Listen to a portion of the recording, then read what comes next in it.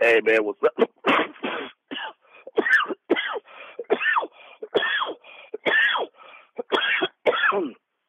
oh shit.